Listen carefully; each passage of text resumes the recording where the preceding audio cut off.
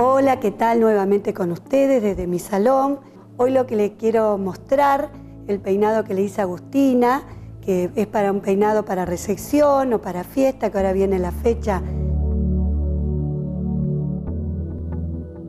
Yo fui la encargada de maquillar hoy a Agustina, la modelo que trabajamos un poco de tendencias, sigue muy vigente el Smoking Age, entonces trabajamos en los ojos un esfumados, en tonos de negros, grises y también, siempre cuando destacamos mucho los ojos, eh, también Agus decidió destacar la boca, pero siempre en tonos mate, que ahora los labiales, eh, la tendencia y el furor son los tonos bien mates. En la piel utilizamos una base ligera, también apta para todo lo que es HD.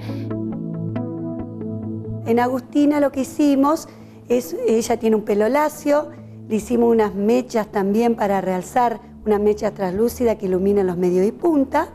Y para realzar un poco su pelo lacio le hice unas ondas al agua y también unas trenzas cosidas que quedan muy lindos.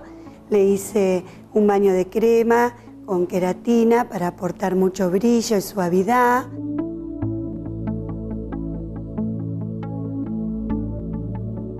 Este peinado de Agustina puede ser para recepción o también para una novia que tiene un pelo lacio, quiere algo muy informal, no un peinado tan trabajado. Por eso yo siempre les digo acercarse al salón y hacemos una prueba, uno o dos peinados para que ella esa noche ya se esté tranquila y cómoda con el peinado que vamos a hacer.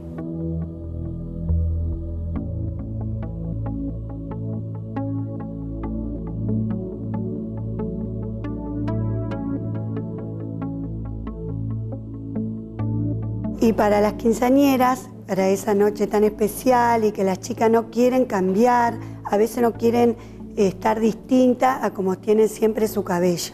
Yo siempre les digo que pueden lucir su pelo suelto, largo, si no les gusta cortarse mucho, pero para eso un previo cuidado con nutrición, con queratina, para lucir el cabello si es lacio, brilloso y sano o con sus rulos prolijos.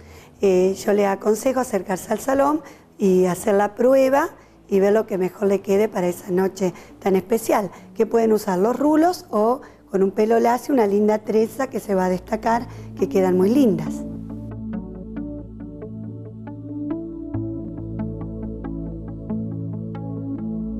Este maquillaje se puede llevar tanto en una graduación, en un evento social. Lo importante es que de acuerdo a cada una y a lo que nos guste, vamos a ver el look indicado. Así como con Aus eh, jugamos un poco con los colores, hay personas que les gusta eh, tonos más claros, entonces yo me adecuo al estilo que quieran lograr para esa noche. Estoy encargada de la parte de maquillaje como así también de la parte de tratamientos corporales y faciales. Me manejo por turnos, así que las espero para cualquier consulta.